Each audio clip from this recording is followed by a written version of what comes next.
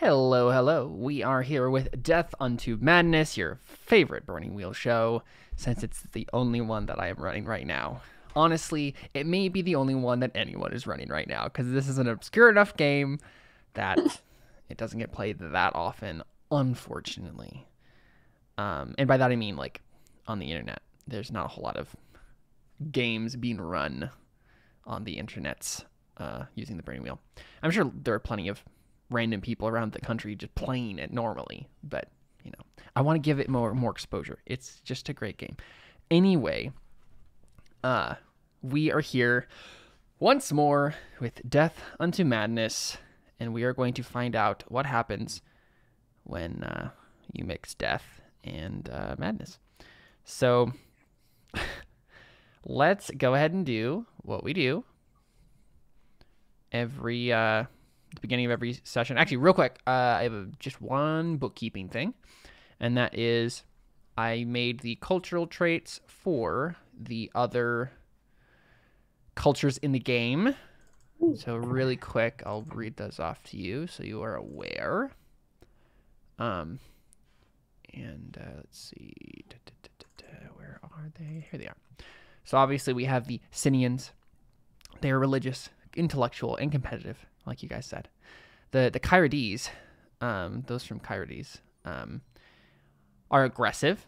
They breed like rabbits, and they are imperious.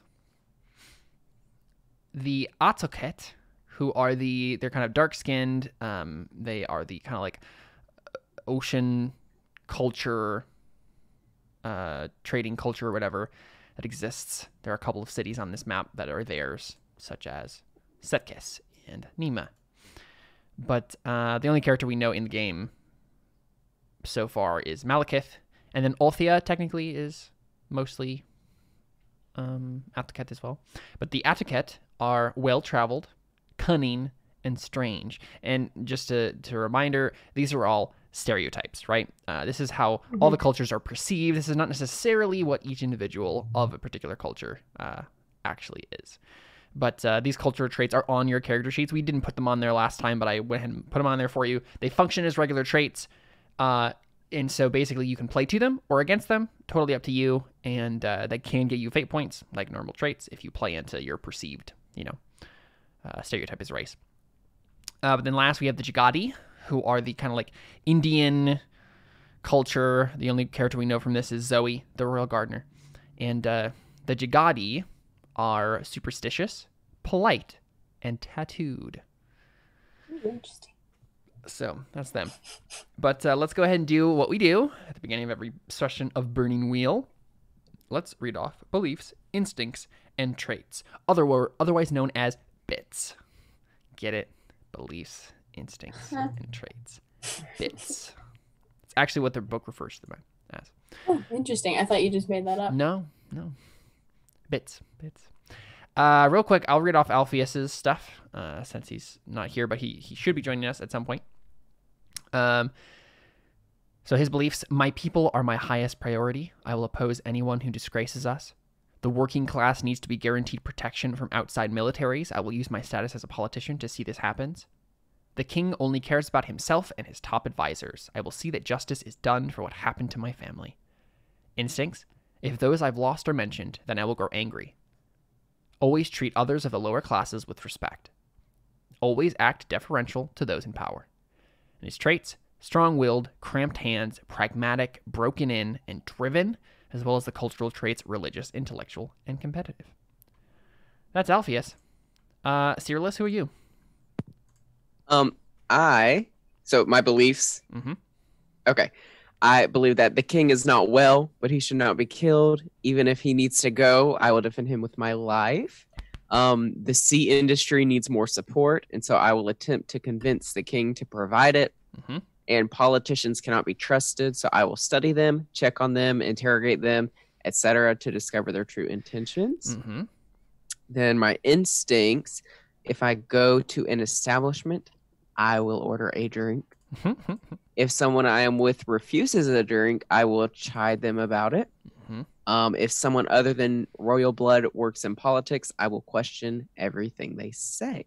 Very nice. And then my traits is the veneer of obedience. hmm Um, I'm a drunk. I have an iron stomach, and I have sea legs. Cool, cool. Ophelia.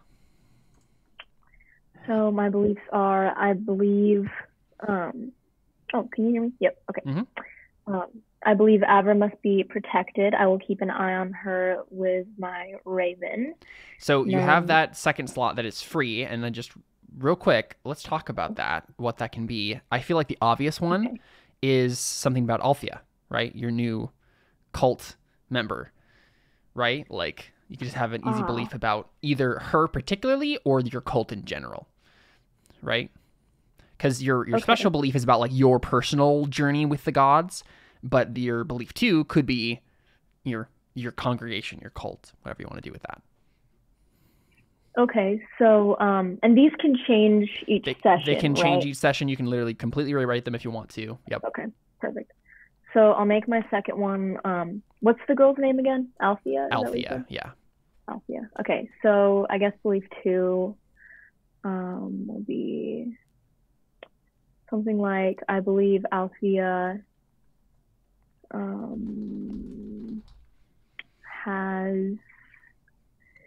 like extreme potential in the whole Yeah. spiritual Mhm. realm, I guess. So Has I will. That's a great. Yeah, I like that. I believe Althea has extreme potential in the spiritual realm. So I will um, train her up in, I guess, all of that. I don't know how to say that Yeah, eloquently. I will I'll train her in the ways in the ways of the dead gods. the dead gods. Yeah, the ways of my There you go. gods. I, you probably wouldn't refer to them as the dead gods um, Oh, yeah, yourself, right? But yeah, just my Yeah. gods. I feel I feel like Ophelia would find that a little a little offensive, right? Probably. Yeah. Whoops. No, you're good. Okay, perfect. Cool. And then third, I believe I will kill the king on sight. I will avoid him at all costs. Mhm. And then the special one, um, I was supposed to refine it a little bit. So the the first part's the same. I believe my gods are not dead. And then Mhm. the the second part, instead of I will communicate with them, um, I was gonna change it to, um, like I'll recruit another person, um, like to be in my cult, Yeah. or like, I guess I could make it a little bit more broad just to, so I don't have to change it every single time. Um, I could keep it that, or I could just say like, I'll try to grow my following or something like that. Yeah. I, I mean, which is better. Yeah, I mean, either one honestly is going to be the same, um, right? You're going Okay. to get fate when you work on recruiting people, and when you get a new person in the cult, then you get a persona point, right? That's that's what the trigger on that's going to be. Um, Okay. Yeah, so I believe my gods are not dead. I will recruit another person to their because Mhm. Yeah. Yeah. Cool. Instincts. And then, yeah, sorry. so instincts, um, I always choose an animal over a human. Uh, if my mother is mentioned, I fidget with knives. That's a great one. Yeah, yeah. And I always collect raven feathers and black orchids. And I, that's those traits. Um, do I go through these? Mhm. Okay. Um, I'm a speaker of the secret language, cruel, lunatic, loner, and then my, um, what are these called? Cultural ones hmm are religious, intellectual, and competitive. And then I have faith in dead gods, mark of privilege, and zealot. And then uh, forked tongue, is in falsehood, not a literal forked tongue. Unfortunately, Unfortunately, yes, I know you wanted that. I know you did. I did. It's okay. One of these days, probably. Uh, Avra. Uh, I believe I am in love. I will convince Celadon he can effect good by assuming the throne in marriage to me. Mhm. I believe my father is ill by someone else's doing. I will invest- investigate his mental decline. Mhm. Uh, I believe I can be an accomplished falconer. I will impress the noble courts. Um, then instincts. I always excuse myself from the room when in an intense coughing fit. Uh, I always have my falconry gloves on hand, and if someone less fortunate asks for something vital I can bestow, I offer it. Uh, traits: your grace, boaster, formalist, religious, intellectual, competitive.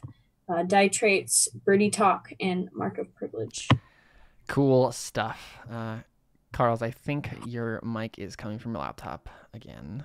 Really? Um, I mainly because when you're like doing clicking buttons and stuff, it's like obviously really loud and coming I from. changed it though. Yeah. It's Do you want do you want to tap on the microphone just to see? Yeah, it's not coming through the microphone. what? It So I don't I don't know why it's I don't know why it's doing that. It's very strange. I'm so confused. That's right. You can just fiddle with it. So, I think where I want to start is uh, I made a note because I realized Ophelia, you went into the city right to to go find Althea, but you have that trait, mark of privilege, which means you look like a noble person, and y- you're kind of a somewhat semi-famous noble noble person. So I would like you to make some sort of role to get in and out of the city without being noticed, right? And if Ooh. and your failure here would be you were seen uh, in the city, and now rumors are beginning to spread. Um, do you have like inconspicuous or stealthy? Ooh. Um. You do. You have stealthy. Yeah. I'm a wee ninja. Would you like to have used your stealthy to sneak in and out of the city? Yes. Cool. Climb on rooftops and all that good stuff. hmm hmm Uh, let me double check marker privilege. I know that it gives you like an increased obstacle when you do inconspicuous, but I'm gonna double check to see if it gives you an increased obstacle when you're doing stealthy. Okay. I don't know if it does. It might. Mark of privilege. No, uh, plus one ob to all inconspicuous or falsehood tests when masquerading as someone lower than your station. Yeah. Hmm. Cool. So you can just make the. You'll still have to make the roll, but uh, you won't get an increased obstacle on this. Uh, Okay. stealthy. So I think I'm just gonna roll for like a guard. Basically, Okay. and I don't think either any of them have observation, but I'll, I'll roll for their like perception basically. And you have to get so I'll roll that. Okay. Wow, holy crap, that was a good roll. That was the best roll they could possibly have gotten. They got three sixes. That's crazy. Uh, Unfortunately, they have no fate points, so they can't increase that. And they used a stat, which means that technically you only need one and a half successes to succeed, right? Because you're basically all of your successes will double because you're using a skill and they're not. So, Okay. uh, yeah, go ahead and roll your stealthy, and, and if you have anything uh, you want to? I don't fork remember how to in? yeah, you're fine. So uh, on your character sheet, um, it should be open. So on the you know top part of it, you see bio and info, character sheet, attributes and ability. Make sure you basically you're always going to be on character sheet on that top tab. You know, you never need to go to the other stuff really. Um, but then there's all the other tabs below that, right? Information, stats and skills, combat, character burner. Uh, go to stats and skills, and then down at the towards the bottom of the sheet, you'll have a list of skills there. You should Mhm. st- see stealthy Yeah. in that list, and then you just click on the little D6 next to it. Uh, but also, you can look at your other skills and see if there's something you would like to fork in, right? Fields of related knowledge, add a skill that is relevant that would help you. Think any of that would help you? Hmm. Would any of these help me? I don't even know. I don't know. Like, Uh, is what? it just other skills? Yeah, just other skills. Yep. Okay. Uh, actually, there Um, is one thing you can do if you wanted to. You could roll Faith in Dead Gods to give yourself either, you know, automatic rerolls of sixes, um, or Okay. an extra die or two or three. Um, they get progressively harder the more you try to do with it. But it, like it's basically like you you do a quick prayer to be like, "Hey, help me with this." That's totally an option. Okay. Would you like to do that? Uh, sure. But I Um, especially don't want to get caught when I'm trying to recruit people. Yes. Um, let me find faith for you. Faith, faith, faith. So a boon, which is open-ending a skill, right? So, um, the all your sixes would be re-rolled automatically. Uh, is an ob two test.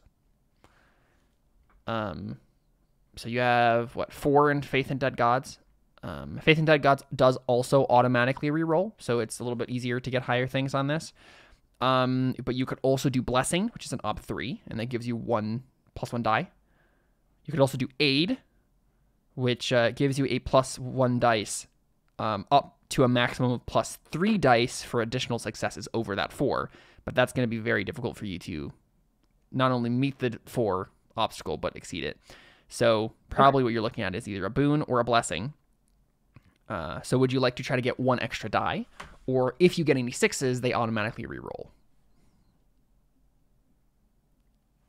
Hmm. The sixes thing is easier, but won't as easily give you better results necessarily. But Okay. How many dice do I already have? so you're rolling two, right, with your stealthy there, Okay. uh, and your Mhm. obstacle basically is two. So I guess I'll add a dice then, or a Okay. die. Try to try to add a die to it. Okay. Yeah. So it's going to be an ob three test. So if you want to go up to faith in dead gods, then in your attributes, Mm, okay. and click on Mm. that, just go ahead and put and it in click on three. the. yeah, click click on the little click on the die? Mm-hmm. Okay. and then uh, skip through the stuff unless you want to spend a persona point on it. Um, but then you can put in the ob as three. That's base obstacle. Yep. That. Okay. As a 3 Mhm. Okay. Mm, All right, you got a six. Um, you only have one fate point, but if you wanted to, you could spend that fate point to reroll that six, and you have a 50-50 shot basically of succeeding. Okay. Um, well, I don't want to not succeed, but I also feel like I don't like But but this is also a fate point that you could use on the stealth roll itself, right? Okay. I'm a little bit lost, but that's okay. So, so So- basically, what's happening, right, is you are trying to roll your faith to add a die to the stealthy test, and fate point or fate points can be used to open end a roll. So any sixes that are rolled, get you get to roll them again, which is kind of the situation we're looking at right now with Faith and Dead Gods. You had one six that you rolled out of the the dice pool, right? So if you go over your the successes with your mouse, you can see the different die that it, dice that it rolled, right? Five, one, Oh, six, okay. three, and two. So Mhm. that six, you would you could spend a fate point to re-roll it, um, but you only have one, and you could technically also spend that fate point to re-roll if you got any sixes on the stealthy test. So, you know, like if you didn't get an extra die here, right? It's just kind of up to you whether or not you want to get the extra die with this for sure, or what you want to do exactly? Because there's no guarantee technically that you'll roll a six on the other one, um, but also you can spend a fate point to reroll one failed dice, so that's also an option. Totally I think to I'll do that and just do the stealthy thing now. Okay, so just you failed basically, and then move on. Yeah. Okay. Uh, go ahead I don't know and what's live, but it's Yeah. go ahead and mark a difficult test on your faith in dead gods on those bubbles there. Okay. Because that's what you rolled there. Unfortunately, that doesn't help you. You don't need difficult tests right now. You need routine tests. Um, Mhm. But uh, it is what it is. Uh, so yeah, I mean, this is basically. I don't know. You tell me, Ophelia. Why do you fail this roll? Why don't the gods help you? Hmm. Are they just This being is, is this for me going? Is this for me going into the city? In and out, yeah, like stealthing in and out. In and out both? Yeah. Okay. Um. Is it that the gods want you to be noticed? Yeah, they either want me to be noticed or they're just trying to test me a little bit, Sure. um, just to see if I'll actually be faithful in what I'm trying to do, even if yeah.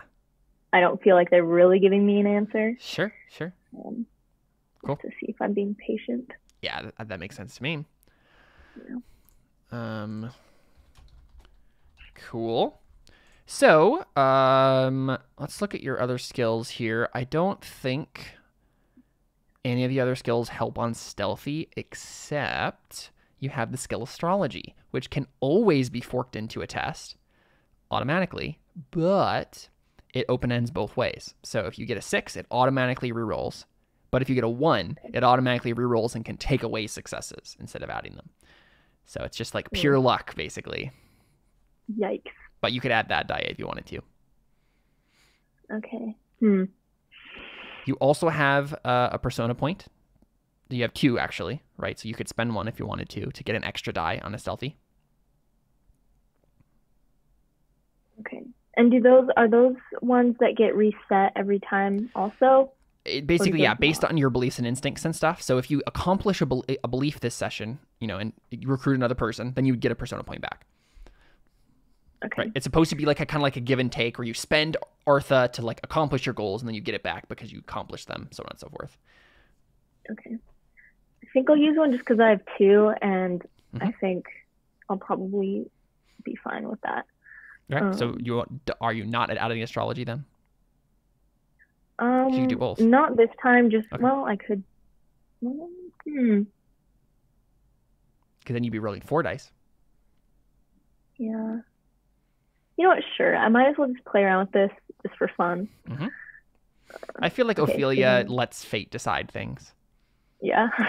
so sure. uh, yeah, astrology dice is is weird. So normally when you fork in a skill like this, you would add one to your modifiers. Um, but you not doing this that this time because you have to roll the astrology die separately because you have to know which die it is, right? So you can see if it got a six or a one. Um, so what you're gonna do, is you're gonna click on stealthy. You're gonna ignore the modifiers. So that's gonna be zero. You're gonna put one in Artha because you're spending a persona point on it. And then put the obstacle as two. Put one on Artha and then Base obstacle is two. school two. Okay. It's green. That's good. Perfect. Yeah. So you automatically you already succeed, but you you have to roll the astrology die because it could get a one, and then you would take away success, right? So go ahead and uh, basically you can do right do uh, slash r space one d six. Um, honestly, just do this except without the period. Copy paste that. That's the macro that you could you guys can use, um, and it with the greater than four exclamation point means that it will automatically tell you how many successes you get, and it will automatically reroll sixes. So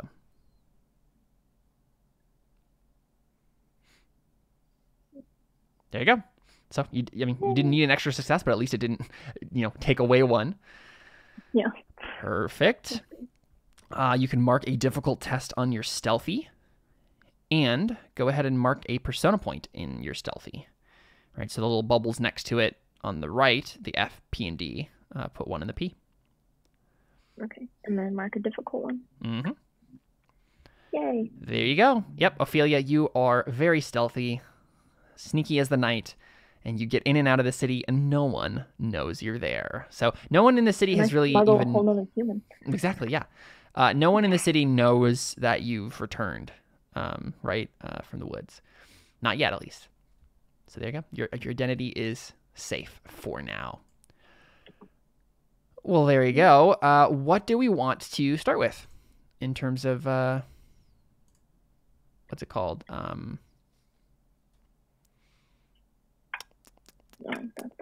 who who wants to start a scene? Anyone anyone in particular want to jump into? I have like ideas for scenes, that sort of stuff, but um, we could start wherever. It looks like chat's gonna jump on. Perfecto. Seth, thank you for volunteering. Welcome. I'm so excited. So so I think we pick up with Cyrillus, right? Um in the throne room. Right? So he is Okay, okay. guarding the king as he does, right? Sure. Um at the you know his his lefters right you know among the various guards that are like f- uh, flanking his throne on either side um and right now uh the king is talking to the captain of the royal guard uh who is your you know your direct superior bastion and uh bastion is played by hugh jackman Okay. Uh so Wasn't Bastian the one of the characters of one of our like world building episodes of the Christian Artist? because I specifically remember. Maybe. that Yeah, I do. name. I do like this name. Yeah. So Bastian is played by Hugh Jackman. He is your, you know, direct superior, the captain of the rail guard, and he's talking with the king right now about traitors. Right? So the king is saying something Okay. along the lines of uh, oh, wait, before we get into that, let's I'm going to switch around the videos so we can get Chad in the right spot. Hello, Chad. Hey guys, Yo yo. how's it going? Pretty good. Sweet. Uh, the only thing we've done so far is Maria's character had to roll a stealthy test to uh, get in and out of the city without being noticed the last Okay. session. So I, re- I remembered that she like obviously looks like a nobleman, so we we rolled to make sure nobody noticed her and and uh, connected her face with the the, the long lost princess. Uh, but she did. She's she's sneaky and she did it successfully. So don't have to worry about that. Sweet. Sounds good. So we're picking up with Cyrillus in the throne room. He is with the uh, captain of the royal guard and the king. They're they're talking. So the captain of the royal guard, played by Hugh Jackman, named Bastian, says, um, or I guess the, the king is saying to him, um, "I want an investigation called, Bastian. I need."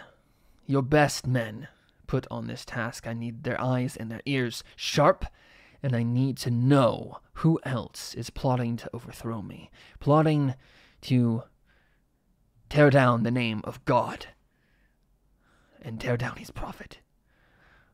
And uh, Bastian has this look in his eye where he's like, okay, I know this is okay. Uh, yeah, I love you, King. This is starting to get a little crazy. You're seeing shadows everywhere, but he he, you know, takes it well and he nods to the king and says, "Do you know of anyone in particular we should be looking out for, my king?" And he says, "Not as of yet. I knew that the high priest of Pyrrhus, Pyrrhus, I'm never gonna get that name right. Uh, the high priest of Pyrrhus was working with others, but God has as of yet not revealed his uh, um, co-conspirators. I, of course, am tasked with ruling this city, so I cannot busy myself with the minutia of an investigation. But I trust that task to you and your men to not only protect me, but find out who may be trying to kill me. And Bastian does the salute or whatever it is, probably like hand over the breast, you know. And uh, he nods and says, "It will be done, my king." And then um, I think Bastian kind of like steps away to you know just kind of get that done, you know, carry out the king's direct commands. And you're you're standing there, right, just guarding him like you would normally do, at attention, being a diligent person that you are. And uh, there's a moment, you know, where there's a transition happening. Obviously, there's someone else who's gonna come like see him in the throne room, but like they're not quite ready to come in yet. And so the king is kind of like just sitting there, kind of like idly drumming his fingers against the side of his chair, uh, throne, and he he looks at you, Cyrillus. Um, and he hasn't done this before. Um, but he seems to like notice you. Why? Why does he notice you? Are you doing anything in particular, or are you just completely standing still and he just randomly looks at you? I'm just there. Yeah, I'm just so doing my job. you don't do anything out of the ordinary. You, yeah, he just kind of looks at you and he says, "Soldier, what is your name?" My name is Cyrillus. Cyrillus. A good name. I trust that you are loyal to me and this city. Of course. I have something to ask you. I am curious as to the uh, common person's viewpoint on a particular issue. And uh, I think he says, let's see, how would he phrase this?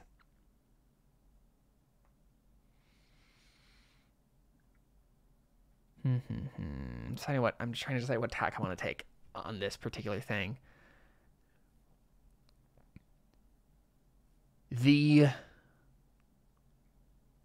city of Sinia has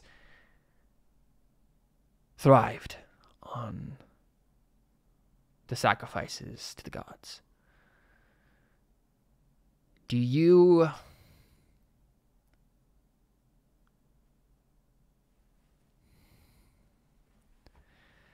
the king has a very interesting mindset right now, so I'm trying to think of exactly how he would go about saying this. I think he says something along the lines of, um, "Do you think our sacrifices are enough?" And that's like a really abstract question. Like, do you think the gods care? I th- no, I think he, he he doesn't say gods. He says God. Do you think God cares if we slaughter a goat? Dribble its blood over an altar. Hang a tassel on the mast.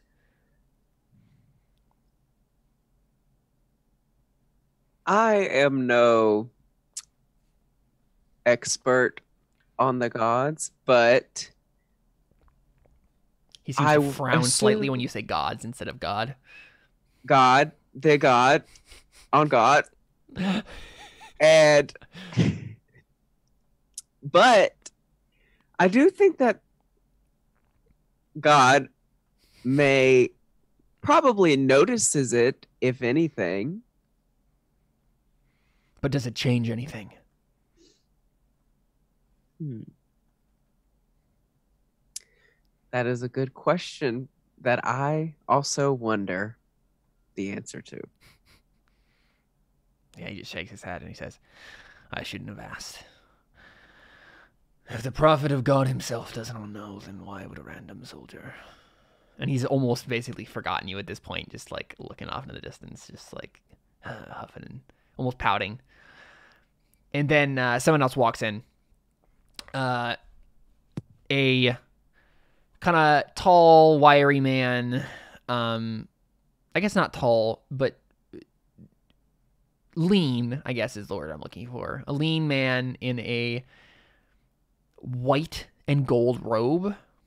Uh, and he is holding a a scepter. It's kind of like a scepter rod staff thing.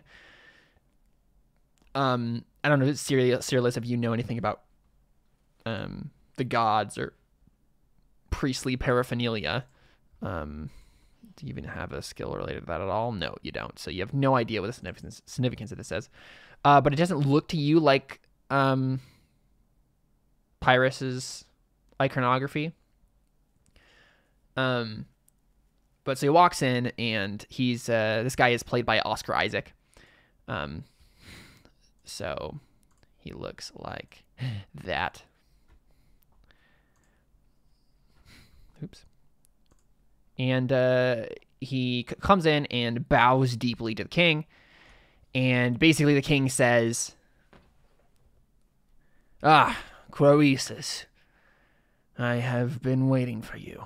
And he croesus says i did not mean to keep the king waiting. I apologize for that but uh, business many many lines of business must be attended to at this dark hour with shadows at every corner, with enemies around every door. You never know. You never can be too careful. And uh, the king seems to nod at that, and he says, You know why I have called you here, Croesus? And uh, Croesus says, I regret to say that I do not, my king. I would hope that you are uh, entreating my patron for aid, perhaps. Aratos is, of course, uh, lenient, or not lenient, uh, is of course preferential to kings. And uh, Cyrillus, that name seems to like ring a bell for you. You're like Aratos, Aratos. Oh, that's the like king of Kyrides. That's or not the king, uh, the god of Kyrides, the the like patron god, uh, the god of rulership, fertility, and war. And uh, so you're like, okay, so Croesus is like a priest of that god. You knew there were temples like that in the city, but um, you know, the patron god of Sinia has been Pyrrhus for forever, Pyrrhus. Um, and so Croesus, you know, already said this is his thing, and then uh, the king says, I am uh, going to pronounce you the high priest of Sinia, Croesus. What do you say to this? Croesus seems pleased and shocked at the same time. And he says, uh, yes, my king. I, uh, suppose that is a wise and good decision, given. And he just doesn't seem to have anything else to say after that. Like, he did not expect this. Uh, and the king just nods to himself and says, Croesus, you are the new high priest of Sinia. I trust that the transition will be handled most delicately and boldly. Croesus nods slowly and says, Yes, my king. I will see that it is done. And he slowly backs out of the room. And so, Cyrillus, this is really bad uh, because this means that the king is even further turning his back on the the god of the sea, which means the sea industry is not going to go well at all. Um, do you say anything? It would be very presumptuous, but you, at any point you can, of course, uh, say anything if you would like to. I think I would know better than to say anything Yes, I- I right think now. You would, yeah, absolutely. Um, and so you're, you know, you've you witnessed all of this stuff, and uh, the king is just still like kind of thinking to himself and nodding, and he says, "Yes, yes, God is pleased. God is pleased. God is pleased with me." And he he stands up and just walks out of the room, and you're supposed to follow him, so you follow him, I assume. Uh, you you know, flanked by some of the other guards.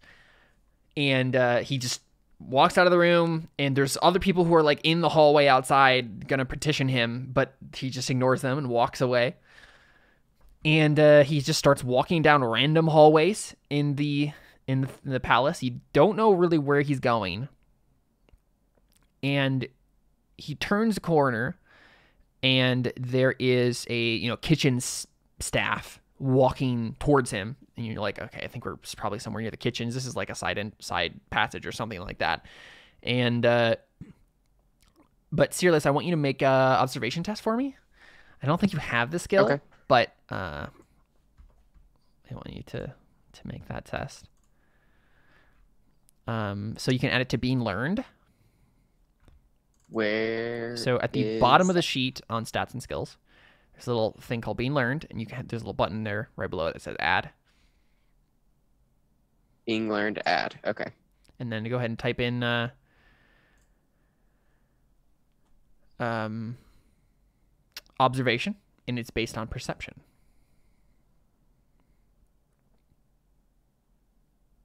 Oh, okay.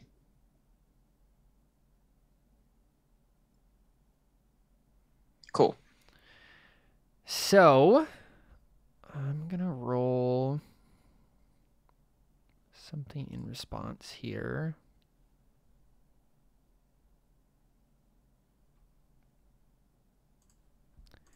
Do do do.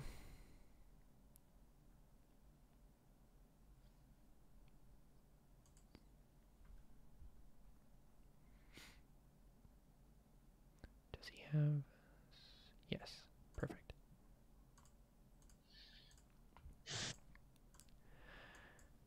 All right, so your ob is one. And uh, basically, yeah, you're trying to notice something happening that may be bad. Would you roll uh, Okay. observation for me, ob one? Okay, so I just click the roll, the dice. Yep. The die, Mm-hmm.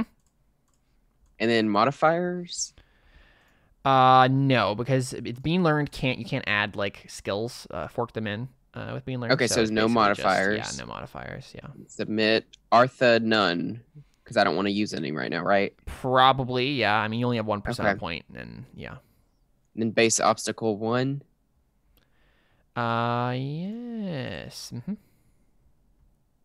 Additional complications. Nope. Okay. Did it do it? Oh.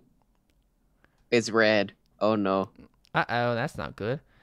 Um, so you do have three fate points. So you could spend one of those to reroll one of the failed dice. That is an option you have. Okay. Well, so I'm just trying to get above a two, right? Basically, yeah, you just need to get one more success. I'll Except, wait that. a second. Uh, yeah, actually, this would be the defender would get the tie in a tiebreaker here, uh, and the defender is the person. Like you're Okay. you're actively well no uh, I'm trying to decide who would actually be the defender in this situation. So this is a person trying like to hide a weapon on them, and you're you know trying to like see that trying to decide if that's like you being the aggressor or them being the aggressor. Is hiding the aggressive action or is noticing the aggressive action? Honestly i feel like it could go either way. What do you guys think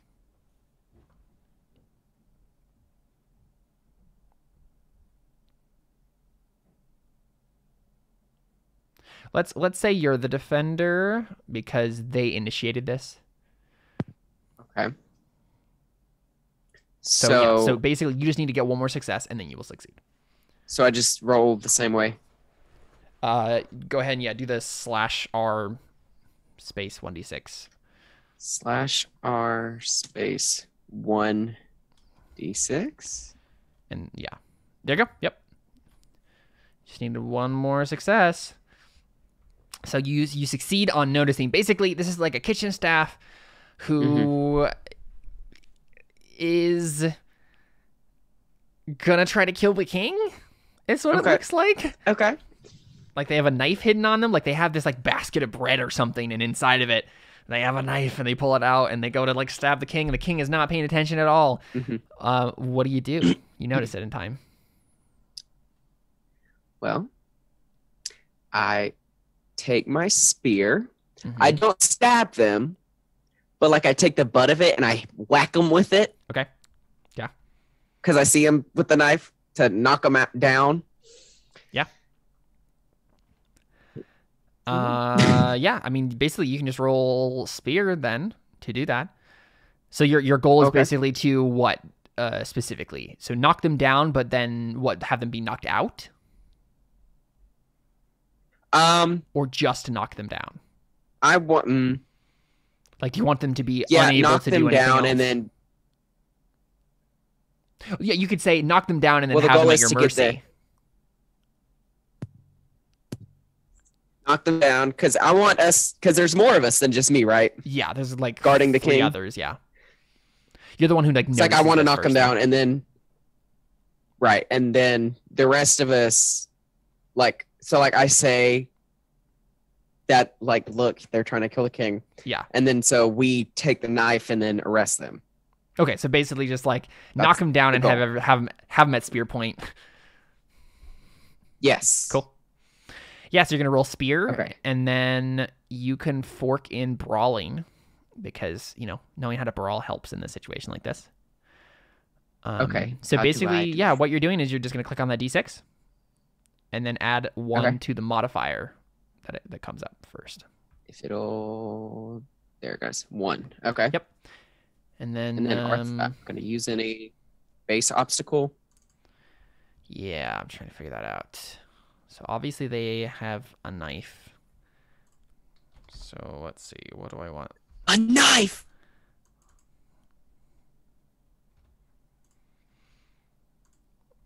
So their intent that- is to that stab the king. Right, that's their intent. So if they succeed on their int- on if they get a higher roll than you on this, then they will stab the king, and you won't accomplish your intent. So Seth, I got that Vine reference. I appreciate okay it. you're welcome sorry, I'm uncultured.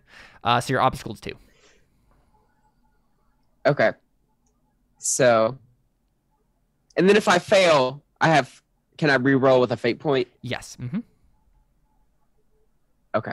So base obstacle 2 hmm Submit. Okay, I think it did it. Ooh, just barely. Okay. Oh gosh. So now the question is, are you the aggressor? And I think you are in this situation. Because right, you were the one who And so that would means the defender. so they would break the break the tie in their favor. So if you want to succeed, you'll have to spend a fate point and re-roll one of those failed dice. Well, I will. yeah, so go ahead and do the roll one d six again. okay. Wait, slash R one D six. Uh oh, Oh my gosh. that's not a success. Uh, okay, let's see how much damage they do to the king when they stab him in the chest. Oh, oh no. Let's see. They have a knife. you're getting fired. I fired, only bro. just started my job and I'm failing. Um, that was not. A, you had so many dice, and that was not a difficult roll too. So I know. The gods are not the god gods are not happy. Yeah, yeah, it's true. Um, anatomy of injury. No, that's not what I'm looking for. Map and mechanics. Yeah, here we go. Knife, knife, knife. Knife.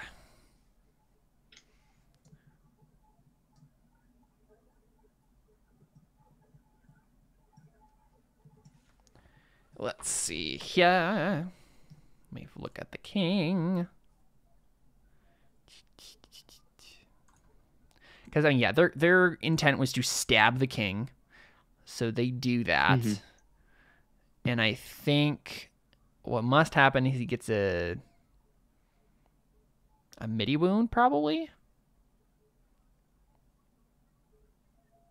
No, I think it's a light wound because he, so the king is boss, right? He's not going to be taken down that easily by a random Okay. kitchen staff with a spear, so it's a light wound. Uh, so he gets stabbed, like it's definitely a stab wound, but Thestios, this is Russell Crowe we're talking about, right? So this doesn't actually phase him that much. Uh, so he gets stabbed in the chest, and I think that's like obviously Thestios like breaks himself out of his stupor and then just is like, "What the heck? Why did you stab me?" Um, and I think Thestios himself is just gonna try to take this guy down. So let's I would assume so. Yeah. let's see what he has. He has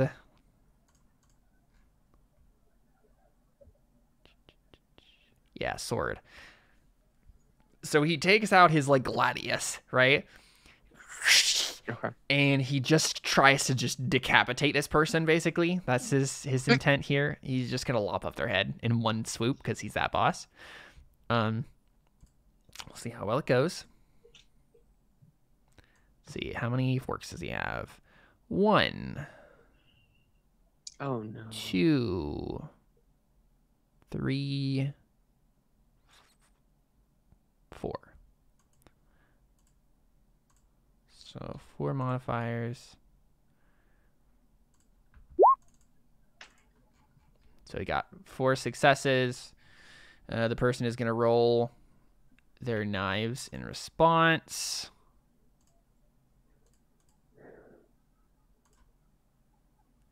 nope so, of course, what happens is the guy gets decapitated. So, basically, right, this whole scene goes like this Cyrillus sees this dude who's trying to pull out a knife and kill the king. And you know what? I think it's it wasn't bread that he was holding. Let's say it's fish to, you know, further solidify the whole like against the ocean thing we're doing here. Um, he pulls out a knife from from the fish and he runs over Cyrillus. You try to intercept him and fail. He just he. he I, okay, Cyrillus, how do you fail exactly? Like, what exactly happens there? He's a little um he's a little slippery slippery guy. Yeah. And he slips past me. Yeah, yeah, I think that makes sense.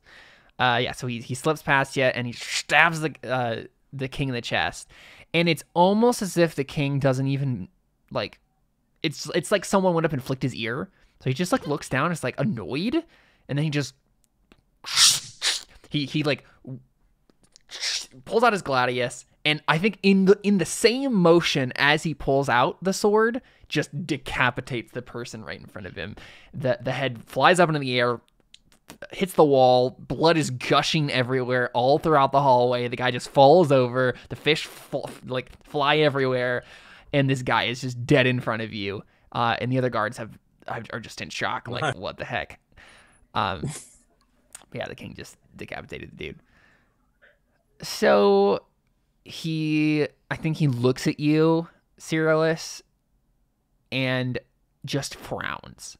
He doesn't say anything. He just frowns. And I think you, you can tell he notices who you are. He's like, uh, yeah, the guy who wouldn't give me an answer.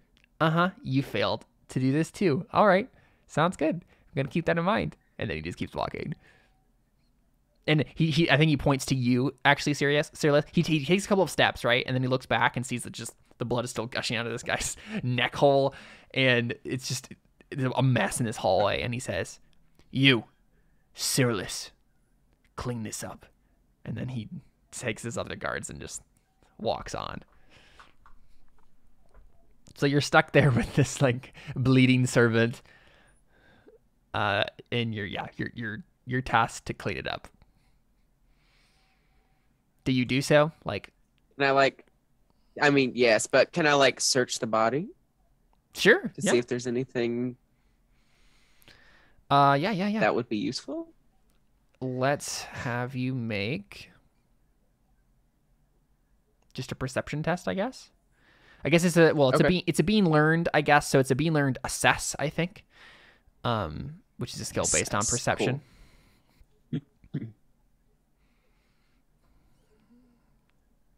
Assessed. Okay. Then Uh, yeah. So go ahead and roll that with a little die icon and just a base op one, and it's basically just like however many sex- successes you get will give you more information, right? Like the higher you Oh, get, the more information okay. you'll get from the guy. oh, I did modifier one. Was that right or, No, Oh, sorry. or yeah, base op. no modifiers? No Cool. modifier, Okay, yeah. cool. Base op one, Mhm. and then no additional complications. Nope. Okay. Hello. Oh, there it is. Okay. Uh, yeah, I think the only thing you find is a he's he had like a a talisman in his Okay.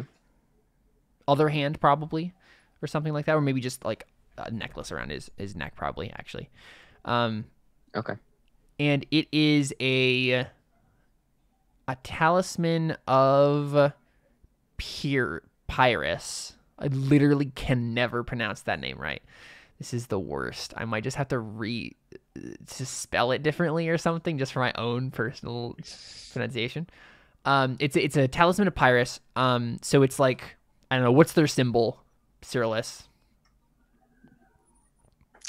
Uh, Pyrrhus, and he is the god of the ocean. Oceans, trade, and messengers.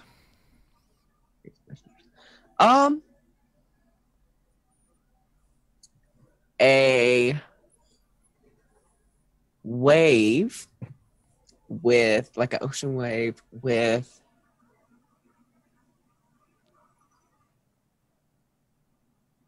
with something on it. With maybe a boat like on the ocean wave. Sure. Yeah, so this little like silver talisman medallion thing uh, that has this engraved on it. Um, but the the iconography is slightly wrong. Like it seems off, Okay. and you don't know what that means exactly because you don't know anything about doctrine. But something about it just seems weird to you. Like it doesn't seem like the same Okay. um, the same uh, standard um, symbol. But yeah, you don't know you don't know how, but you can take it and maybe ask someone about it. Okay. But yeah, then you just clean up the blood and stuff. Mm-hmm. Cool.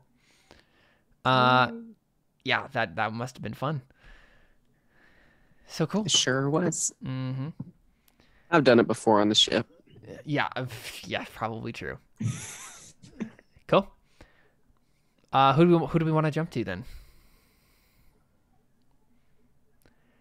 Ellie, because he's not there. Avra. Yeah, why not? I'll go. Cool.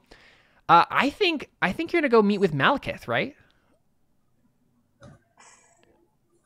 Right. So like, where do we live off? I you you basically just went to like the Embarrassed meeting. Yeah, you just went to the Yeah. meeting of the Blue Robes, right? Yeah. And then just got their kind of like initial take on the weird the the hor- the ki- killing of the high and their whole that deal was that they're like planning. They're throwing their lot behind a, a powerful nobleman and basically saying like we're gonna like he's probably gonna make a play for Avra, and like we're gonna be behind him in taking over the prophet kingship. Okay. Um, but but I would assume right, Alphaeus has just gotten into the city. He would want to make make sure that his ally, you know, he gets in contact with his only ally really, and like Yeah. gets some information Let's from do him. it. So um, yeah, I think Malakith's like office, um, so he has a very successful like sea trading business. Um, he is the kind of like minister of sea trade or whatever, uh, for the city of of Sinia. Uh, so he would be somebody who really cares about the sea god being offended. Yes, very much. Yeah. Yeah. very much so. Um, but so he his office is like down near the dock dis- district because I think that's kind of like where his space is, but it's like on a hill overlooking the rest of the dumpy dock district. Um, so this kind of like beautiful marble building, uh, but you're you're in, we basically just pick up in his office, uh, which is this lavish, uh, you know, lavish quarters with you know elegant couches and this nice you know dark wooden desk uh, plants and talismans and stuff. And so malakith is a uh Athoket, which is the um the dark skinned like sea trading seafaring race that exists in the setting.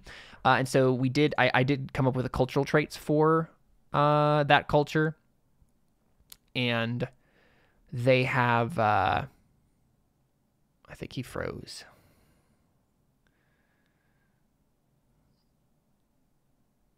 Yeah, I think Chad froze. Oh, there you go. Okay. No. Oh, you can hear me? You're back. You're back. Yeah. I'm gonna turn my video off, and maybe that'll help. Can you hear me still? Yes. But now Okay. the now the order of the you're supposed to be the first Oh, person I'm that order. sorry. No, you're I'm good. I haven't gotten the update I think yet that like allows you to just drag the screens around. Um but uh here I'm going to reorder everything.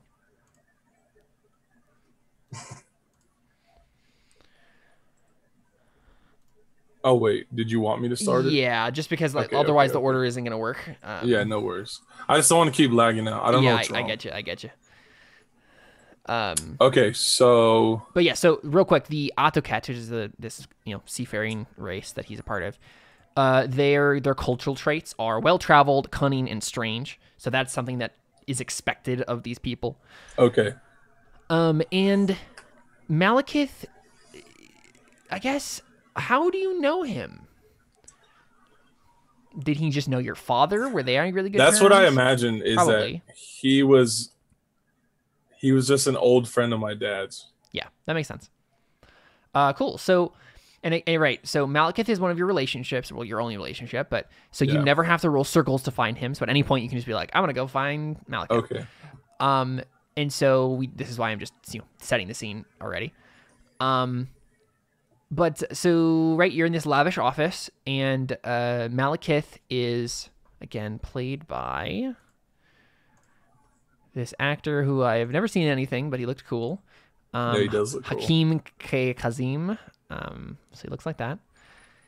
And he is petting his, he's like scratching the neck of his like pet ocelot. Uh, right. So this like, you know, medium, bigger than a house cat, certainly, but not as big as like a jaguar, uh, you know, jungle cat. Scratching its, its neck and it's, it's kind of leaning into his scratch and he uh, has just heard you explain, I guess, like the general situation of like, hey, you know, I came here to do this, and here's what's going on. And did you did you tell him about what you just did, or are you not telling him about that yet? Like you're No, yeah, I would I would tell him and, and I'm gonna tell him I told him what happened at the blue meeting, blue robe meeting. Yeah. And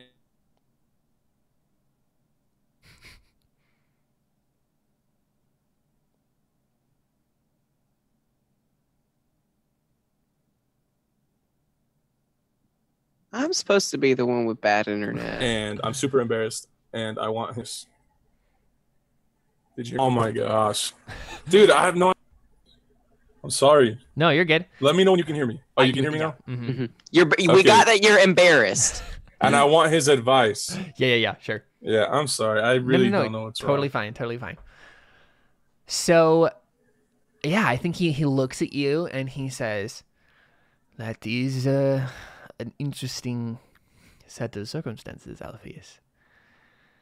I am Yeah, sorry you man. had I to come. up. Yeah, I am sorry that you had to come to Sinia on such uh, bad, in such bad timing. The city is in uh, unrest right now. You should have seen it in its heyday. It was a beautiful place of culture and uh, trade, but uh, it seems like Thestios is going mad, and that is uh, trickling down to everyone. Seems like the entire the entire city has gone mad uh, these days. Um, he says, "So your goal is to protect Carusia, a, a noble, noble goal." How do you expect to go about it, Alphaeus? You are, unfortunately, the lowest dog in the kennel right now. Well, I figured you could help me Ah, yes. And he just smiles. for old says, time's sake. No, of course, of course, of course. I, I owe your father plenty of favors still, and I suppose I can transfer to you. What would you need me to do, Alphaeus? I'm afraid that even I don't have that much pull in the court.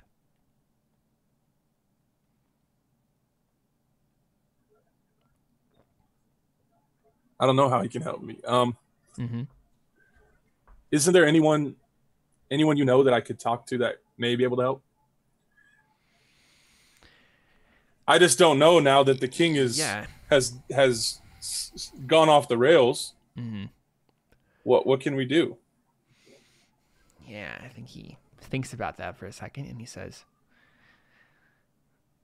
Well, if you want to protect Carusia, then maybe you need to find an alliance. Maybe you need to side yourself with one of the factions that is vying for power and will take over when the king is no longer in the picture. I imagine That there may be one or two that uh, would be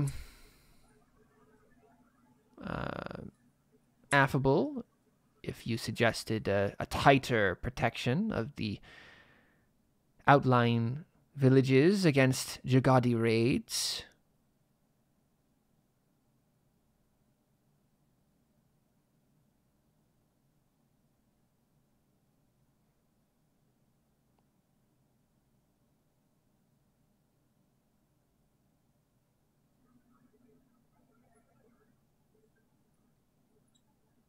Who do you who's quickly?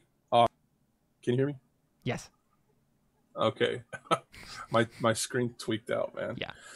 Um, because I want to handle this quickly, I ask him.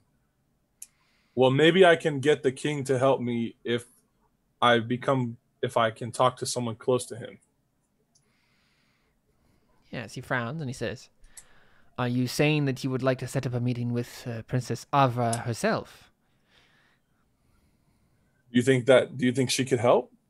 Do you think she would be willing? Have you ever talked to her? Uh, a time or two in an official function, nothing too serious. She does seem like a, a woman with a head on her shoulders, though, and a bird on her shoulders, as usual. Still don't really understand true. that in Sinia, honestly. Neither do I. I'm just a lowly townsman. Yes, yes, well. Well, let's uh I, I suppose you I could set that up? I could pull a few strings, Alphaeus, if that is what you want. What would you ask her? I don't know. I, that's what I was just thinking about. I, I I'm thinking.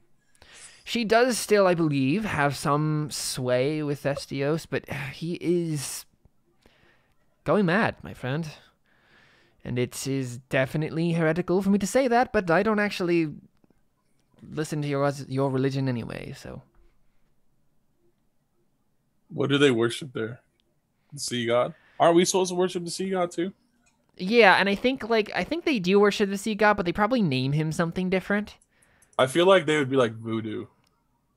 It's not that exactly. It's like they they worship similar gods, but like their gods are named differently and their you know their their religious practices are you know different. So I need to figure out what I'm going to ask Av- Avra, if if I even get to meet with her, Yeah, I mean he could he could What's my make goal? a- yeah, I mean your because goal I, I I have to be strategic, right? I don't want to just so I go mean, and bluntly ask her, "Look, my town needs help. I want to guarantee their protection, et cetera, et cetera." Because I don't know her, and I'm so low on the pole. Yeah. I mean, my guess would be to be prepared to offer her something yourself, right? Um, come with something on the table to give her. Um, and I guess I mean, part of that is like understanding what she would want. Yeah, I mean, us as players, th- we already, I, I already know exactly what this should be, right? Alphaeus can help her find out what's wrong with the king, right? Madness wise, right? That's obviously what what this. What be. does Avra want? Is that what she wants? Yeah, I mean, help yeah. her dad? She she wants her beliefs right now, right? Are help her, her dad like figure out why he's went mad, um, and um, get married to the one noble who doesn't want to like be the king, and then also she wants to be a good bird person. So if you could help her with any of those things, but but you'd also have to like figure out what those are in character too. Um, Right. but I mean, you, you could also just, I mean, you could say as Alphaeus, you know what? I, let's set up the meeting, and then I'll ask her, right, when I get there. That's one thing you could do. You could just be like, Okay. hey, Yeah, I need something from you. I'm willing to help you with what you need. Like, what do you need me to do? Sort of a thing. Yes. Obviously, my guy's not. He doesn't think things through, anyways. He just does it. Yeah, uh, that's the, yeah, sure. So yes, let's go Okay. talk to her. yeah, I will, I'll roll for Malakith. I'll roll um his circles to see if he can drum up a meeting with Avra. Um. Okay, so he is gonna first. He's gonna roll a resources test to drum up some cash to bribe people. So he's gonna try to drum up some cash here.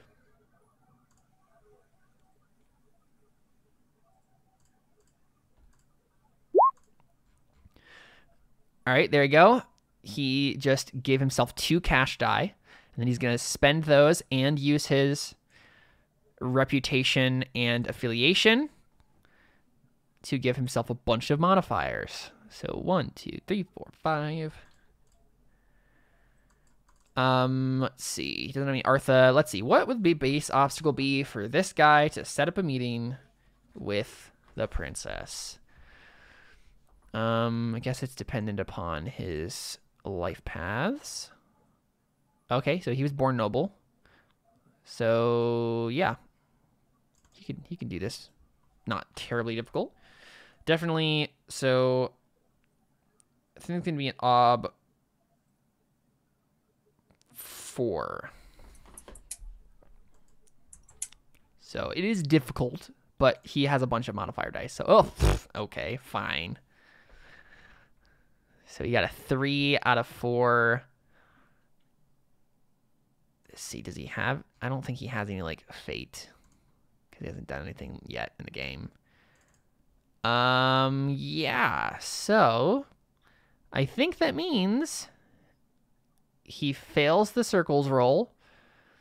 So Avra, you tell us is this Avra saying no? I don't want to have a meeting with this random nobleman who wants to talk to me, or is this Avra like accepting the meeting, but you'll get a plus? Uh, Alphaeus will have a plus two ob to convince you of anything because you're like not you didn't don't find you he doesn't find you in the right time and you're angry about something.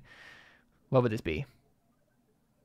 Um, probably the second one, because she's still just frustrated about Celadon right now. Right, to yeah, figure sure. Out how she can find someone to help her research stuff, Sure. and also she just wants Celadon to like listen to her more. So Yeah, that's fair. yeah, she's just like not in a very uh patient headspace.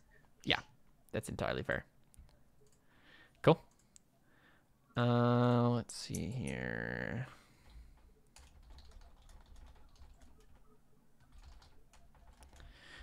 I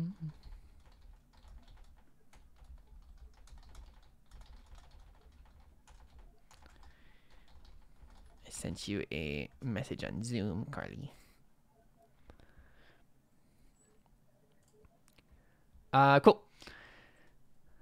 Um, so is this meeting happening and where is it happening? I guess is the question. So where would Avra be? Yeah, that's the In her castle? Does she have a castle? She- she's yeah, she lives in the palace. She doesn't own it, but um. Well, wait a second. Do you have like actual property yourself, Avra? What? Do you have property? I You do. You have a villa. I know that word. That's a Latin word for It is. house. It's like an estate. Yeah. yeah. Um, where is your estate? Is it just like you own some big building in the palace quarter, or what? Uh, probably. Okay, yeah. So Avra just has her own house, like big manor. It's not a man, you know, big manor, but like a a, a modest sized house, um, a villa, and uh, yeah, you meet her there. Avra, what is this? Where would you meet him in your villa? Uh, Do you have like a sitting room? Would you be in your like garden? yeah, I would meet him in the atrium. or atrium. Wow, yeah. I said that wrong. The atrium, yeah. Yes. Sure. Wanna meet him Maria's in a tomb? disappointed with me with my Latin. uh, where? Uh, what is the? Give us a description, I guess, of the uh, the environs. Um, Like, does Avra have decorations? Does she have? oh like- yeah, for sure. but what kind? Yeah. Um, probably like there's like a lot of um artwork hanging up of like various species of birds. Sure. yeah. Avra has a one one track mind here. Yeah. Cool. Yeah. So various bird iconography. Uh, I mean, you see her big bird, uh, on her shoulder, right? Alikos. Uh, yeah, I know, big bird. Yeah. So funny, Maria. I saw your face. I'm sorry. I'm tired. That's okay. I am I have Latin brain right now. Yeah. So yeah, Avra, I, I assume Avra, you have your big bird on your shoulder, right? Yes. Because that's the typical social etiquette Yes. here. Is my mic loud enough now? Yes, it is great. Yeah. Okay. Cool. I did turn up the like volume. Yeah, a bit, it so sounds great. Hopefully Yeah. that helped. Good. Yeah, and feel free to just be loud as well. Yeah. You just have a quiet voice in general. That's so- what I've also been doing. Yep. So Alphaeus, um, what would you say to her at the to like start off this So- like meeting? I'm my character is very like improper. Like he's not. What's the word? Uh, Proper. Yeah, but is that the correct? Is that isn't there like a phrase like a word for that? Like uncultured. right? Sure, sure. I mean, you're you're not a city. You're not. Yeah, yeah. You're a uh, Right. co- country So- bumpkin. You don't have So I- etiquette. Right. So wait, do I have any? I think you Isn't do that a actually. I think you do have that skill though. Um, Interesting. Yeah, you have a foreign etiquette. Do you want to roll to see if you could do etiquette well? Yeah, I want to make. Sh- I want to see if I greet her correctly or not. Sure. Yeah. Like if I call her the right ni- title. Yeah, yeah, yeah. of course. Um, etiquette. Okay, so the role for this.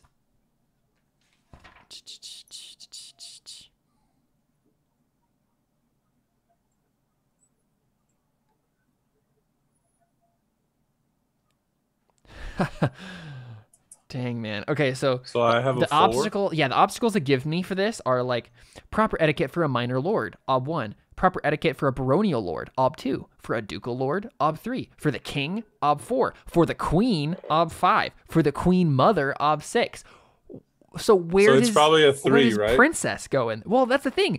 Below I, the that's, king. that's what i was would think but uh, the the queen, Queen is is technically above below the king. Oh, no, no no what i'm saying is like in actual like hierarchy it is yeah. right. and the queen mother but usually right? the queen's always more proper than everybody, right? Exactly. So I'm thinking it's kind of actually more than the king. So I think this is going to be an ob five test for you. Well, is is Avra? Are you uh, like super proper? Well, she's a princess, so like But like, does she act like it, or does she care? I think she does, right, Avra? Yeah. Yeah. Okay. Like she's like, I'm the princess. You better talk to me like I'm the princess. I mean, she assumes it. I think, right? Yeah. Yeah. I mean, Okay. she probably wouldn't like make a big deal out of it, but she would definitely like react to you not referring to her properly. Yeah, exactly. Okay. So let's roll it. you know what? I'll I'll I'll give you There's a, a chance. uh, yeah. So hmm, yeah, I think it would be ob five. I think you can fork in bu- bureaucracy though. Hmm right? Because you know about stru- structures and stuff. Uh, and so I think that'll help you peripherally in this situation. Uh, but I think that's the only thing you can fork in. So it's going to be right etiquette. You roll the die there, and then you can give one modifier to yourself, unless you wanted to spend your persona. I have one. You have one, yeah. So and also keep in mind.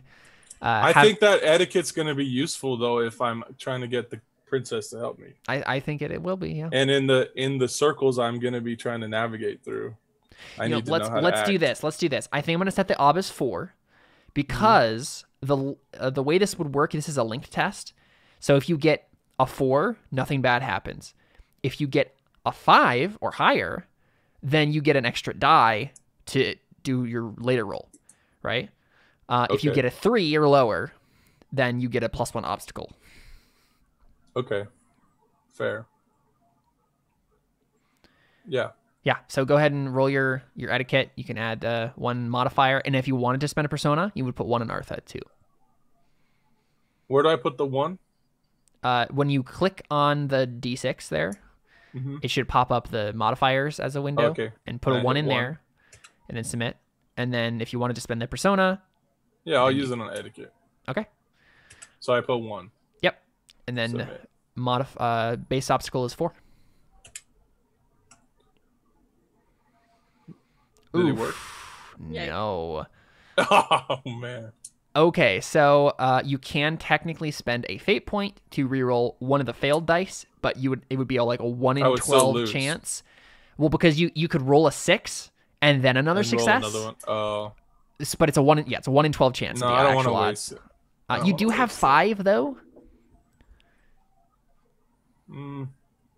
This isn't that. She she said she wouldn't be that mad if I don't do it right, but I don't know but that. the me- but the mechanics of it supposed to know still that. are plus one ob, right?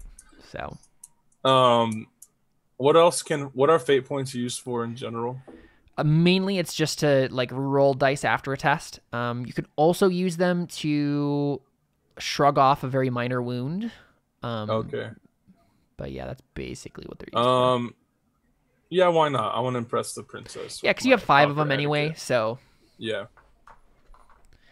yeah, so go ahead and uh, if you want to do this, um, I'm gonna write out this.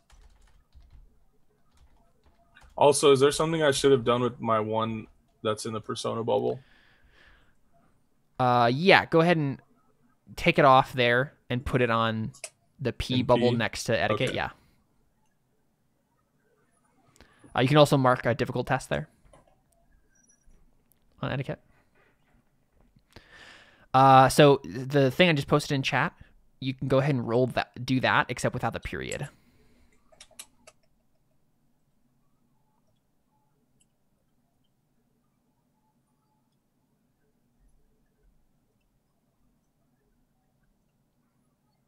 You got one success, but it's not enough because you needed a six.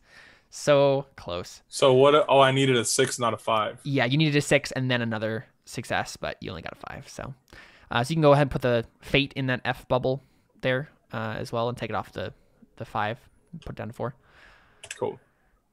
Uh, also, real quick before we move any further, Cyrillus, we forgot to mark some things for you for those those things that we did, um, because right we you spent a couple of fate points on stuff, right? Hmm Um, what did you do? You spent a fate point on observation, Yes, Uh, and the spear. which actually, because it's being learned, it goes on perception. So uh, right at the top, Yes. you can. This should be the same three bubbles. You can put a one in that F bubble there. Okay, Um, so I am. So I click my person, character sheet, stats, and skills. Yep. Perception, and I click F yeah, put on the F. Yeah, one. One. And did you did you mark that off of your total fate points when we did this or no? Uh, no, I did not. Okay, Where so is?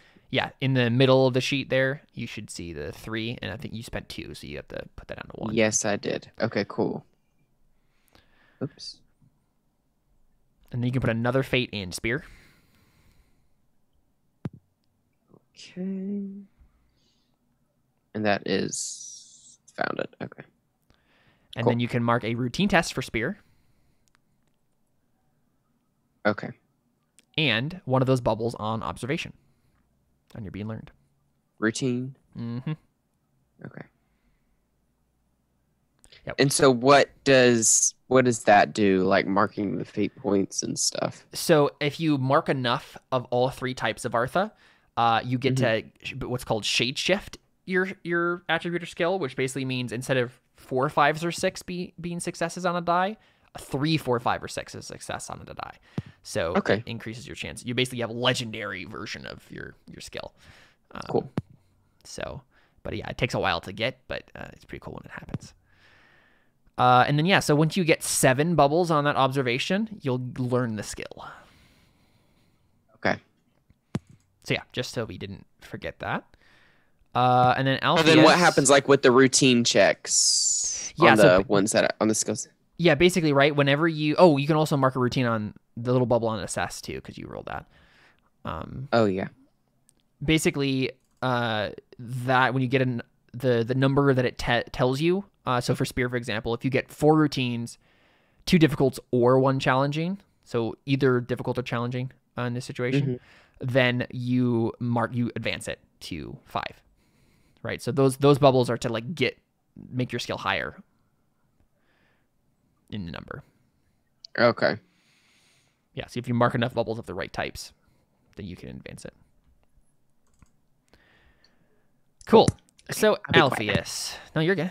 Uh, you did not do the proper etiquette, which honestly makes sense. You've never interacted with a princess before. What do you say?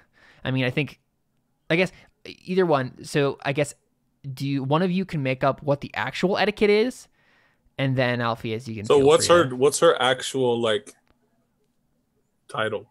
Yeah, I mean, Avra, what what is it? What what should he have done in this situation? Ugh.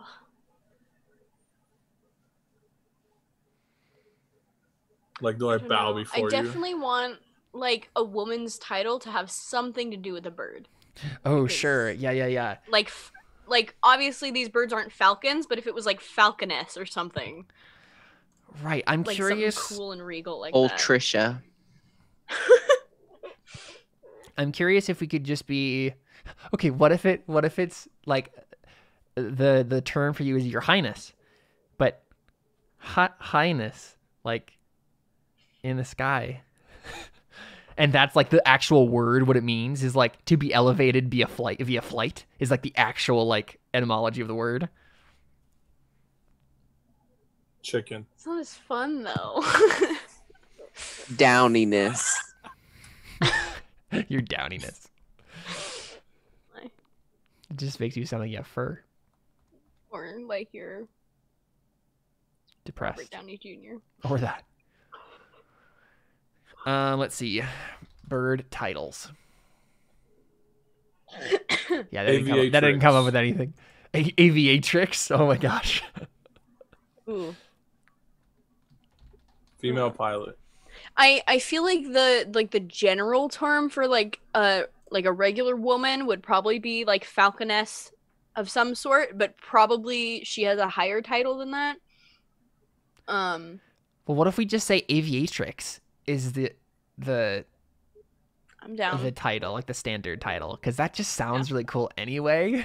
hmm Yeah, I mean, so what's the advanced version of that? I guess, right? Uh, Aviatrix first class. um.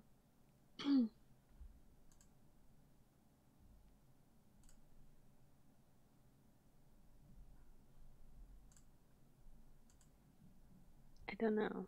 I feel like that's the name of a. I think my mind. I think. Am I back? Yep. Sorry. You're. I was saying, and her name's Avra. Like that's close to aviatrix. Oh, yeah. I think oh, that yeah, some I nice you, alliteration there. Avra aviatrix. Yeah. Where's the word ornithology? So maybe you could do something with that and add it.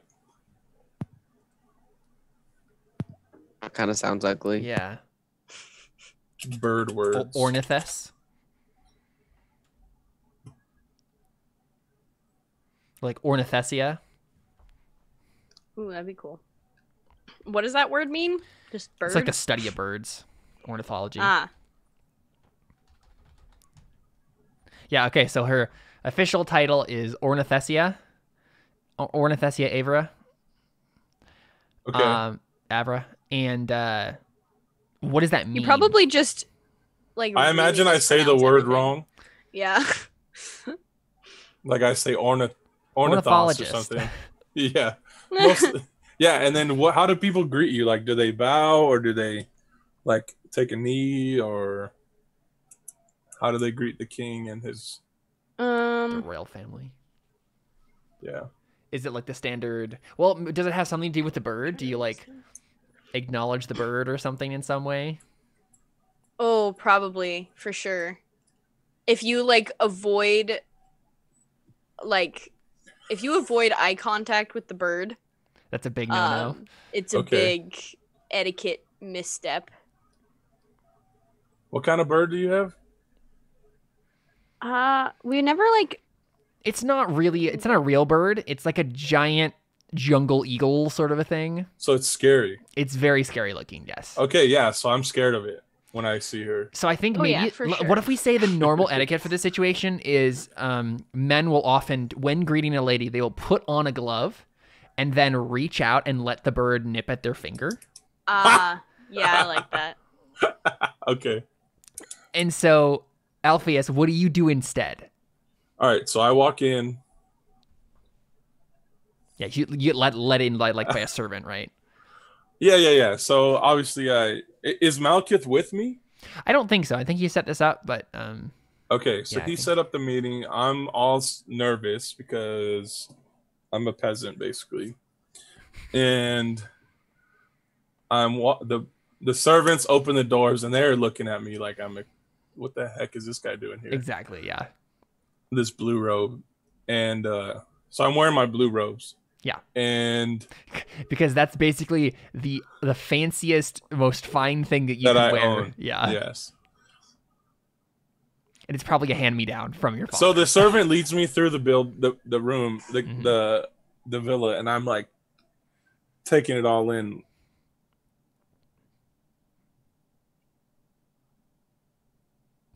he is taking it all in.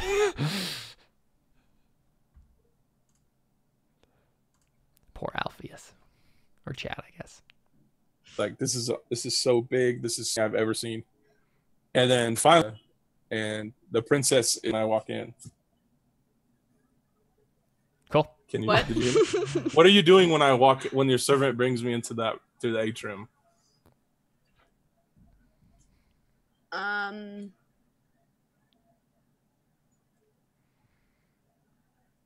I don't know. Are you just feeding Alikos? Probably, yeah. Okay, so yeah, you're feeding the bird. So I walk in and this giant bird just like puts out its wings like this and just kind of flaps it a couple of times and then caws at you. and I I flinch. I'm like, oh, like, I flinch and I say, uh, Onathos Avra, uh, it's it's a pleasure to to be in your presence and have this opportunity to speak to you. I said her her title wrong, so Yeah. Uh-huh. Yeah. I, I think you did the male version, and and nobody uses the Oh. male version because obviously Okay, they, male- males don't have none. birds. Guys, But but That's you- like that's the actual like male version of the word. like grammatically, yeah. yeah. exactly. okay. And uh, and then her bird is like scaring me, so I totally forget about the the glove thing, even though Malakith told me I should do that. It's it's kind of like the the equivalent of where you know like king doesn't have a, a feminine equivalent of the exact etymology of that word, but it would be like you saying kingess, right? You're the kingess. Yeah, it doesn't make any sense, but we know what you're trying to say, right. except in the opposite word way. Yeah. Mhm. So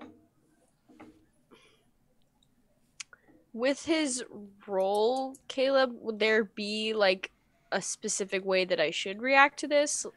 I mean, you're just kind of peeved generally right now. You're not you're not Yeah. really in the mood for this conversation. Um, maybe not mad at him particularly, but Yeah.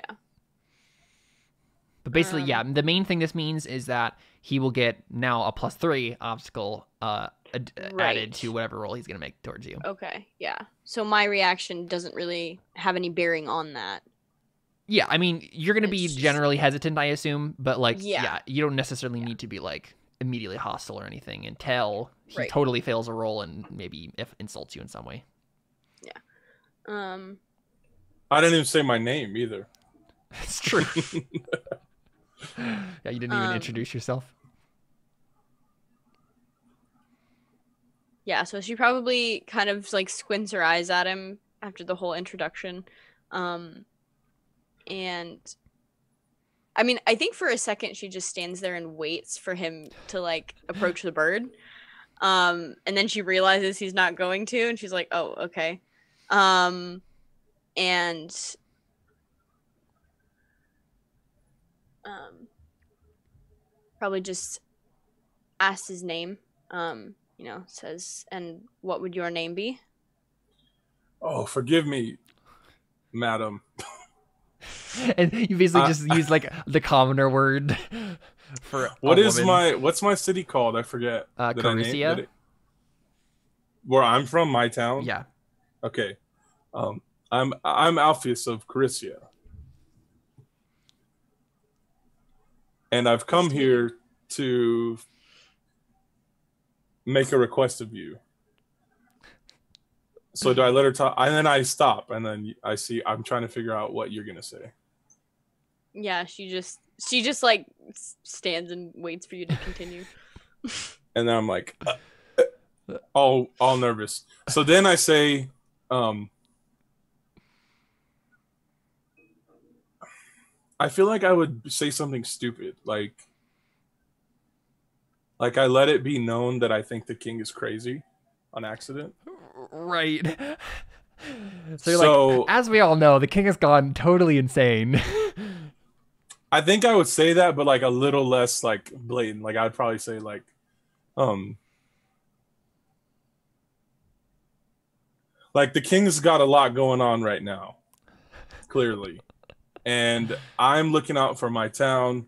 And then I explained to her what happened with my parents and recent uh, events in my town that we could have used military protection and ask her to help me. And I offer her, so then I say, um, and, ex- and in exchange for your assistance, um, I, I, would like to offer my services in anything that you could see fit. Aha, perfect. this helps one of my goals. Um, um, I'm just trying to think if she even has like the power to help him with that kind of stuff. You could. I mean, you have connections and stuff. So I asked her to like talk to her dad, basically. Could you entreat the king for me on my behalf? I mean, I feel like there's a roll, yeah, for right? sure. I feel like that's the moment for the it's role. a roll for Carly the player. right, exactly. I mean, that's what's fun about Burning Wheel, right? Is we can literally have those sorts of things be decided by rolls and stuff. Mhm. Um, so yeah, I mean, it sounds like you're doing persuasion, right? Like it's in your best interest. Like I can help you if you do this difficult thing. I will be at your service. So like, that sounds like persuasion to me. Yeah, and I thought I think I have good persuasion. Yeah, you have pretty good persuasion. is that? Um, I don't think any of your other skills help in this situation. I have a five. Yeah, so you're I mean you're rolling the five and it's gonna be Avra's will plus three. Because of the Yeah, it's the ob's gonna be eight Alphaeus. Oh my gosh. I want to use all four of my fate points. Uh you can only use a maximum of two. Um be, mainly because and, and you have to get sixes and have failed dice basically is the idea with that. Um but yeah, if you have sixes and a failed dice, you can you can spend those two of them. Uh but you've already spent your persona, so Bureaucracy wouldn't have anything to do with So, this. so one other thing you could do, uh, uh, like the etiquette, right? You can make linked tests. Um, so you could say, for example, you could make a rule of law test to be like, hey, actually, there's this obscure law that exists that if a blue robe particularly entreats the princess particularly, she has to honor the request. Like you could just make up something like that if you wanted to. Um, but you'd have to roll for it, and then you'd have another link test situation, which might actually make it more difficult. Whatever, I'll do the eight. Yeah, I think that's basically your only real shot at this point. Yeah. Is just get lucky on fate. But I want to use two of my fate points if I don't get it.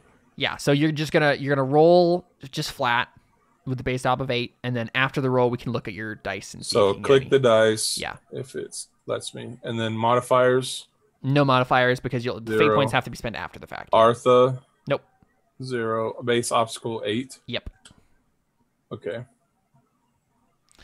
Oof. Only three. and no sixes. So if you wanted to, you could spend one fate point, but you would have to get A six. you would have to get four sixes in a row and then Oh a success, which is Yikes. incredibly unlikely. But you also have four fate points, so it's not like it's necessarily going to hurt. Yeah, but it's pointless. It is pretty pointless, yeah.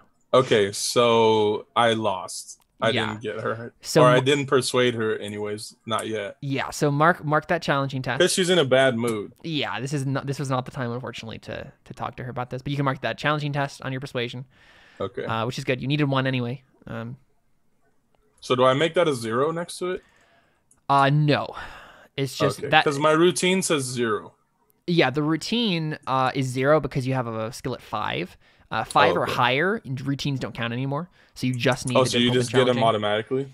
Basically, you don't need any routines because routines don't help you anymore. You just need challenging and difficult tests to advance stuff. Okay, okay. That's the cool. idea. Uh, so yeah, Evra, how do you respond to that? He totally fails, which makes sense given the situation. Um, well, in her head, she's definitely like, well, I could definitely use the services of someone who knows how to research and help me figure out what exactly is going on with my father. But she also doesn't want to just be like, can you do this? And if you can, I'll help you because then she's just admitting to someone that she thinks there's something up with his father. Yeah. Um, and if he can't, then she's getting nothing out of it. Yeah. Um, and she's also terrified of going to her father alone. So yeah, exactly. And I think that's the main thing, right? Like, it's like, yeah, I'm sorry, that particularly, like, that will not happen. yeah. Um, yeah, I'm trying to think of how she would Like, what's her personality? Is she nice? Yeah. Um but she's also kind of like no nonsense kind of person Okay. like um like she's not going to be super frank, but she probably says something like um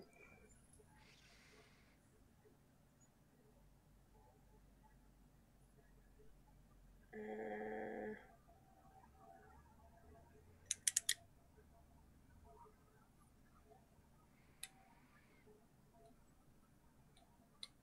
probably something like i'm i apologize but uh that's a task like that is even above my station at the moment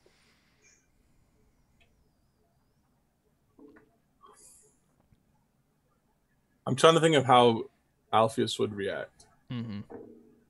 Because I feel like inside he'd be very upset hmm that he like convinced his friend to help him get this meeting. Yeah, and now then it- not there's even gonna- no- yeah. So I think, but but on his out on the outside, like, because he he respects people in authority, right? Because he Mhm. wants to get stuff from them. Yes. So even though he, I'm pissed off, um, I respectfully tell her, um, I, I apologize like for the inconvenience. Um, thank you for meeting with me, and I give her my, like my seal and my contact information. I guess Yeah. To Here's my phone number. here's where I am. yeah. If you ever need anything from me, anything, like I'll do it. Like anything. Like and I emphasize that. What's what's great is that I, I know why Alphaeus is emphasizing it, but it also Yeah. could just sound really creepy. Um, and that's probably how it comes off initially. How do you respond? to yeah, that, but Emma? yeah, I emphasize it. So yeah, however you want to react to that. Well, no, let me. So I emphasize that, and Sure. then and then. No, no, that that would be it. That would be it for sure. It was a short meeting, so, and then I tell her like I don't want to take up too much of your time. yeah she just kind of narrows her eyes and like nods and excuses herself And then the servants kind of like telling me like, "Come on, let's you got to get out of here." get out of here. cool. Well, there we go. Uh, poor Alphaeus is just not having a good time so far in the city. Um, but I think we all kind of knew that was going to happen. So yeah, Yeah, hey, it'll work out. Yeah, eventually. Maybe. Uh, all right, well, let's go ahead killed. and yeah, exactly. Let's go ahead and take a break, and we'll come back and continue with Death Unto Madness when we return. Stick around; we got more Burning Wheel to come.